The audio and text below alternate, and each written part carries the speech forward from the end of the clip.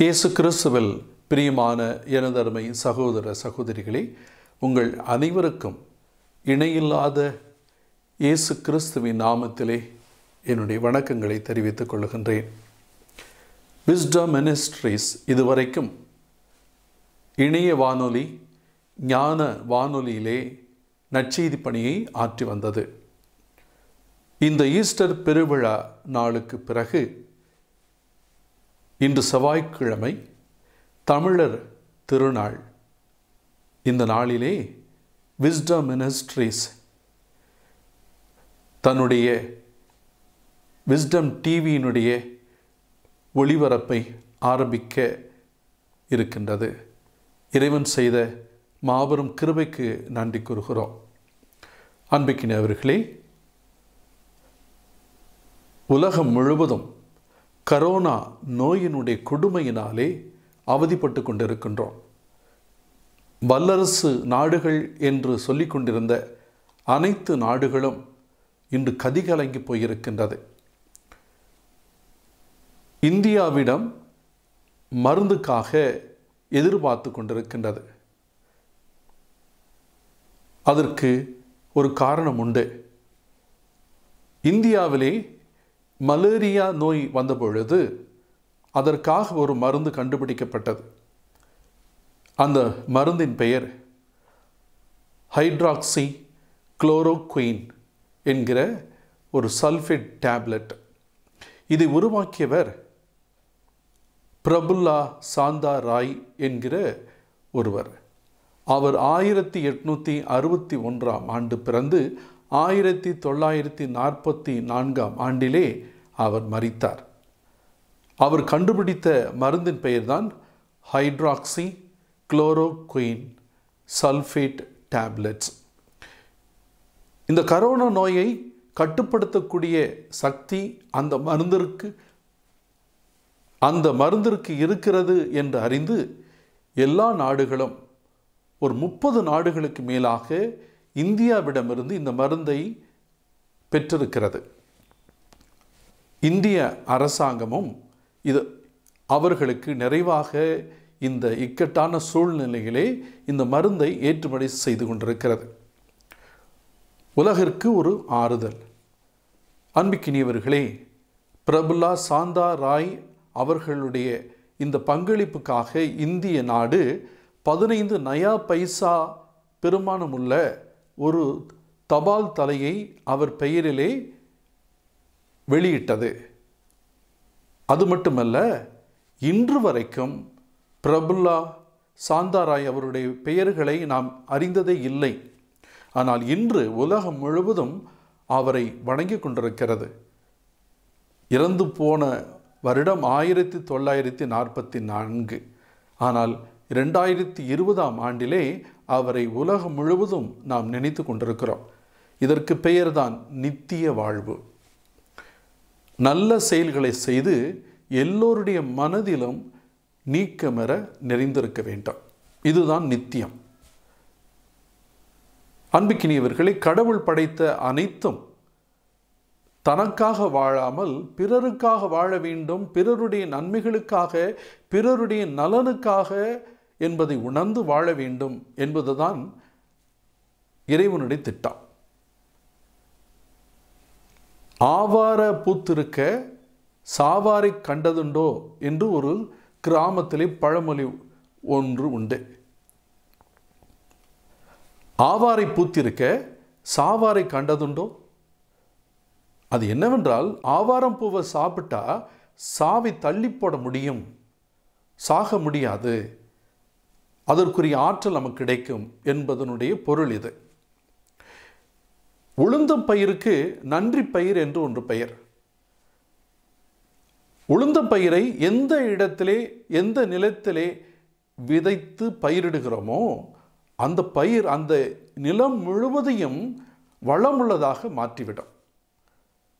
ஆக பயனற்ற நிலத்தை கூட இந்த உளுந்து பயிர் சக்தி உள்ளதாக இன்னும் வளமையாகதாக மாற்றி வளம வளமையானதாக மாற்றிவிடும்.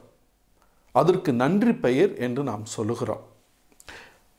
அன்பிக்கினியவர்களே இந்த ஆவாரம் பூவும் உளுந்தும் பயிறு மட்டுமல்ல உலகத்திருக்கிற அனைத்துமே மற்றவருக்காக படைக்கப்பட்டிருக்கிறது. எந்த மரமும் அந்த பழத்தை தான் சாப்பிடுவதில்லை. இறந்து பழுத்து கீழே விழுகிற அந்த கிளைகளையும் அந்த இலைகளையும் உரமாக்கி கொள்ளுகிறது. தன்னுடைய பழத்தை எல்லாருக்கும் விட்டு விடுகிறது. அதுபோல படைப்பின் சிகரமாக படைக்கப்பட்ட நாமும் பிறருக்காக வாழ வேண்டும். நம்மால் பிறர் வாழ வேண்டும். அன்பிக்கினிவர்களே இந்த உளுந்து பயிரை போல அது எங்கே இருக்கிறதோ எங்கே வளர்கிறதோ அந்த நிலத்தை வளமையாக்குவது போல நாம் எங்கிருக்கிறோமோ அந்த இடத்தை மகிழ்ச்சிக்குரியதாக வளமானதாக எல்லோரும் சந்தோஷமாக வாழக்கூடிய இடமாக மாற்ற வேண்டும். இன்று பல நாட்களாக யாருமே வெளியே போகாதவாறு வீட்டுக்குள்ளேயே அடங்கியிருக்கிறோம்.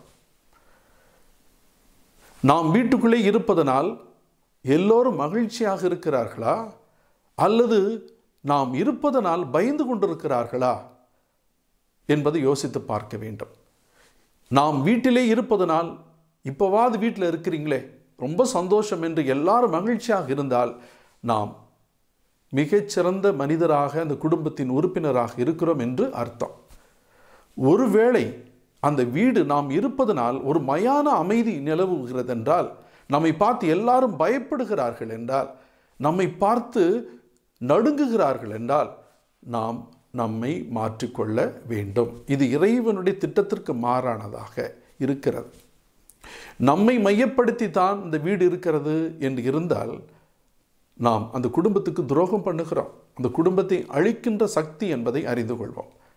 அன்புக்கினவர்களே பிரபுல்லா சாந்தாராய் அவர்கள் இன்றும் கூட குணமளிக்கக்கூடிய மருந்தை கண்டுபிடித்தது மூலமாக அவர் நீ எல்லாருடைய மனதிலும் நன்றி உணர்வோடு மதிக்கப்படுகின்றார். இந்த பிரபஞ்சம் மனிதர்கள் நான் நிரம்பிய பிறகுதான் அந்த பிரபஞ்சத்தினுடைய முழுமை நிறைவு எல்லாம் சிதறடிக்கப்பட்டது. மனிதர்கள் பாவத்தினால் நிரப்பப்பட்டு இந்த உலகை சாபத்துக்குரியதாக வேதனைக்குரியதாக மாற்றினார்கள். இதை மாற்றுவதற்காக மனிதராக பிறக்கிற ஒவ்வொருவரும் எப்படி வாழ வேண்டும் என்பதற்காக கடவுள் தம் மகனை அனுப்புகின்றார். கிறிஸ்து இந்த உலகத்திலே மனிதராக பிறந்தவர். நம்முடைய பாவங்களுக்காக சிலுவையிலே மறித்து எல்லாரையும் மன்னித்து அன்பின் உருவமாக கடவுளுடைய அன்பு எவ்வளவு பெரிது எவ்வளவு மாண்புமிக்கது? அன்பே உலக மகா சக்தி. அன்பே தலை சிறந்தது என்பதை கல்வாரி மலையிலே காண்பித்து போல நானே வழியும் உண்மையுமாக இருப்பது போல நீங்களும் எல்லோருக்கும் பயனுள்ளவர்களாக எல்லோரையும் வாழ வைக்கக்கூடியவர்களாக வாழ வேண்டும். அன்பிக்கினவர்களே நாமும் வாழ்வோம் பிறரையும் வாழ வைப்போம். ஆகவேதான் கடவுள் சொன்னார் தன்னைத்தானே நேசிப்பது போல பிறரையும் நேசி என்று சொல்லப்பட்டிருக்கிறது. ஆக அன்புக்கினியவர்களே நாம் வாழ்ந்து பிறரை வாழ வைப்பதை விட பிறரை வாழ வைத்து நாம் வாழ்வோம். அதுதான் கிறிஸ்துவம். அதற்காகத்தான் நாம் படைக்கப்பட்டிருக்கிறோம். ஜெபிப்போமா?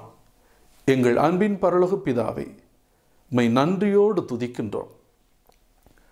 மனித இனம் எப்படி வாழ வேண்டும் என்பதை உன் திருமகனை இந்த உலகிற்கு அனுப்பி கல்வாரி மலையிலே அவரை உயர்த்தி எல்லோருக்கும் மீட்பு கொடுத்தது போல நாங்களும் உம்முடைய அன்பை உணர்ந்து எல்லோரும் வாழ்வு பெற வாழ அருள் தாரும் இந்த மன்றாட்டுக்களை எங்கள் ஆண்டவரும் உம் திருமகனுமாகிய இயேசு கிறிஸ்து வழியாக உம்மை பார்த்து மன்றாடுகின்றோம்.